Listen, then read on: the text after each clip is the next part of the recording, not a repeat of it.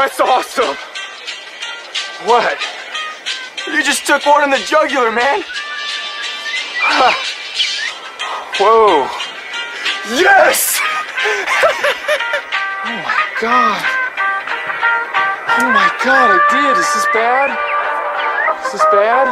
You should pull that out. That shit is not cool. The dog, man. You got a fucking dog in your neck.